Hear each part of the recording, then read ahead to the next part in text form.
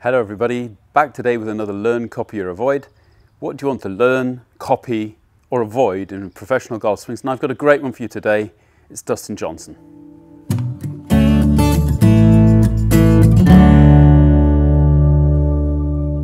Welcome back to another swing analysis where I'm going to try and help you to understand the things that you have got a chance of copying from these great players and the things that you really are going to have to avoid because it's just uh, a bridge too far.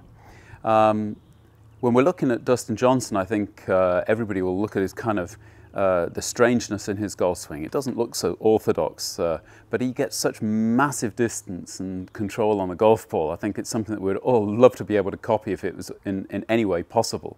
So I'm really looking forward today to actually kind of taking his swing apart and actually seeing exactly what we can learn from it, where he gets his great distance and, and how he manages to, uh, to get the club back onto the ball with that strange hand position at the top. When Dustin starts his swing, he actually starts it with his hands as though from this position it's difficult to actually see. He's actually lifting up. You'll see that a little bit better from the frontal position. But that means he's actually kind of starting it back with his wrists before his body actually starts to turn. But when it does turn, it's the upper body and shoulders that start in plane. So it's very orthodox really at that stage in the golf swing. In fact, when he takes the club back up to where the most of us would actually stop a kind of 90 degree shoulder rotation, then everything looks pretty normal. I mean, his, his bum's back, his axis is being held, his shoulders are in plane. It's really a really great position. And you've not, there's a hint of what's going to happen next in his, in his left wrist. But otherwise, you wouldn't really be looking at here being anything other than orthodox. The difference is where we mere mortals stop Dustin carries on. He carries on with his hip rotation, his shoulder rotation, and more to the point, he carries on with his arm movement. And there's more lift than I would like to see in the backswing here. So his left arm is actually lifting up into a steeper angle than his shoulders. So although he's still got his shoulders on plane, his left arm is becoming steep, and that's when his left wrist bows down. Now, he says he does this totally intuitively and he's always done it. And I kind of think this is kind of a little bit of kind of the feeling of getting, keeping the club behind him and getting it more over the right shoulder.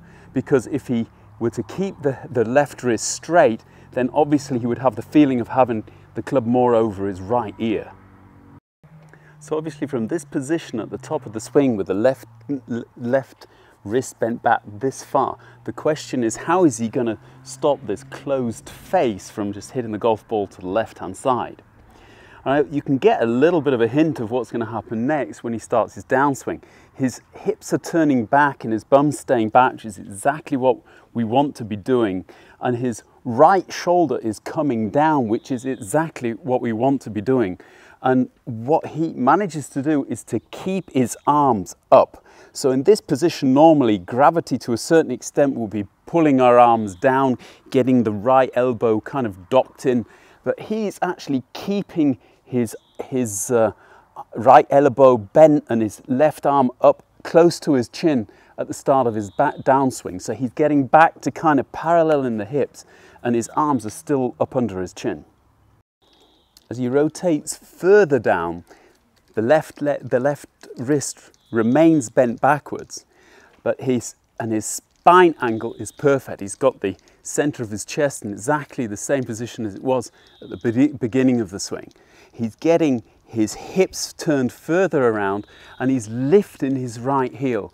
Now I think uh, if you remember when I was talking about McIlroy swing, what I like is him kind of keeping the heel on the ground because it kind of gives him an anchor. Dustin's got to actually get as much rotation in his hips as he possibly can in order to get this club face back square and to, this, to a certain extent keep it open. And that's how he does it. So he's basically lifting up the, the right hip which will, or right heel, which will help him to get more rotation in the, in the um, hips. And because he has such a massive X factor, as a difference between his shoulder and his uh, and his hip rotation, he's still pulling the club down. And at this point, when his hips are almost pointing at the target, the club is still only more or less at hip height. It's an amazing position, really. So when he then goes into the impact position, he's basically got his chest so far open in comparison to its starting position and his arms are still so far back you can actually see a great big hole between his lower right arm and his left arm. You could drive a bus through that, but the, this is helping him to hold this club face off and bring it square into the golf ball. It's also de-lofting the club because of the, the, the bend in the wrist. He's got, he's got a lot of lean on the golf club and it, the golf ball just is going to go off low and like an exocet. It's really a very dynamic movement. And at the same time, he's moving quickly. I mean, obviously all of these pros look like they're moving slowly, but in relation, because of the length of his arms, the height of his body, he's really moving at a great, tremendous lick, especially with the golf club as he comes into this, into this position. And it's the most athletic position probably in golf, even if you compare it to people like McIlroy and co.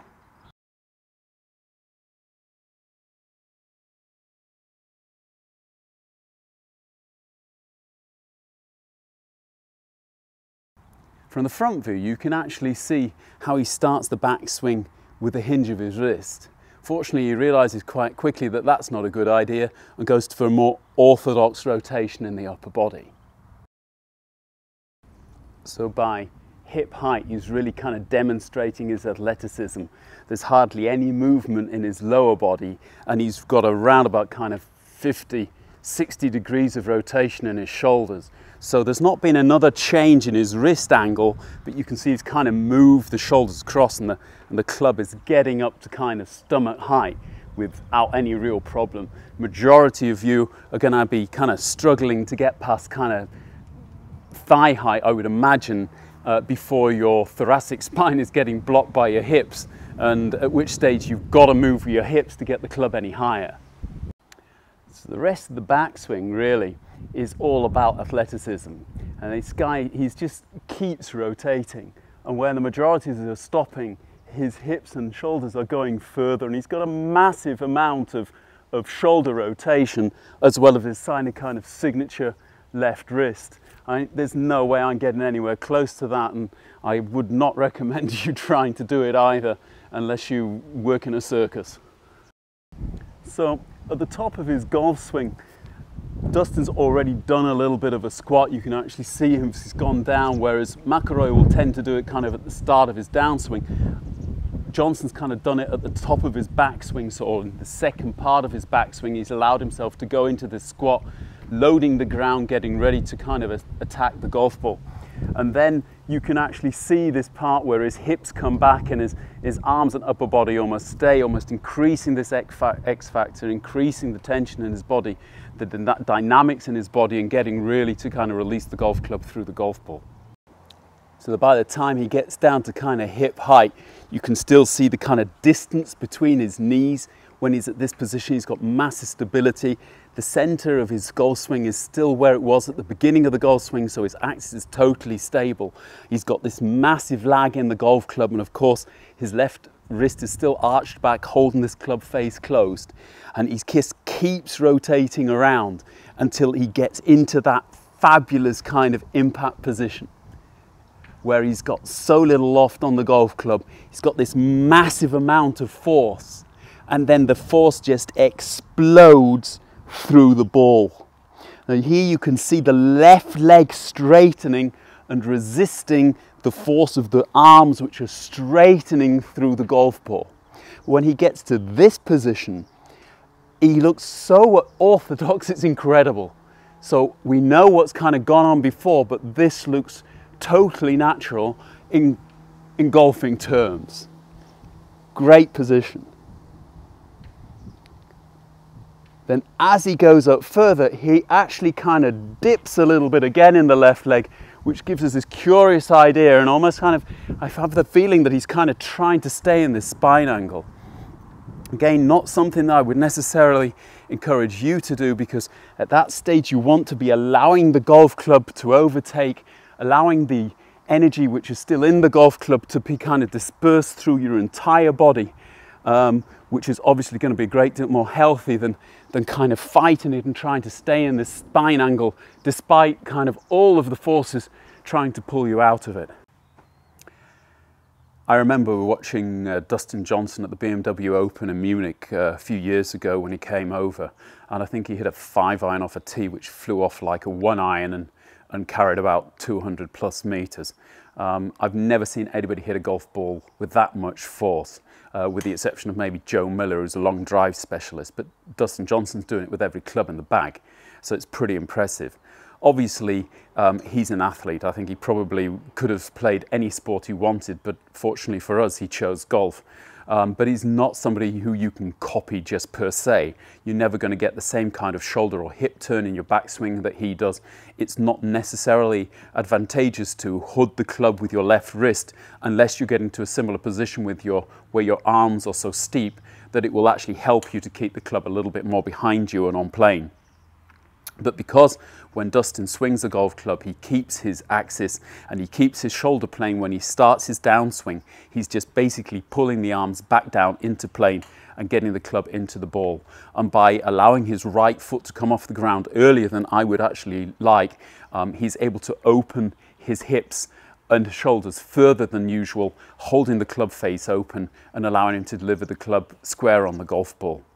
One of the beauties, obviously, of any swing which has kind of that amount of kind of personal uh, ability and a personal idiosyncrasy is that he'll have a good idea of where his misses are going to go and he can use them. And I can remember him doing a video for one of uh, the other guys on YouTube um, explaining basically, you know, that he's got an awful lot of um, shots in his bag, but he's not changing his swing at all. He just changes his setup position, which is something we should all really learn to do. Don't tinker around too much with your swing if you're trying to shape the ball. Just set up differently, change your grip, grip or not necessarily your grip, but the alignment of the club face. And that's all you should really need. A great champion, a great player, and somebody who has got a lot of things you can copy and a lot of things you just won't be able to. I hope you enjoyed it. Again, if you did, please hit the like button. Any ideas for the next person in the analysis, then leave them down below. If you haven't subscribed to the channel, then please do so. Uh, I'll leave my philosophy as ever up here if you're interested in my further thoughts on the game of golf. Uh, look forward to seeing you all very shortly. Cheers for now. Bye-bye.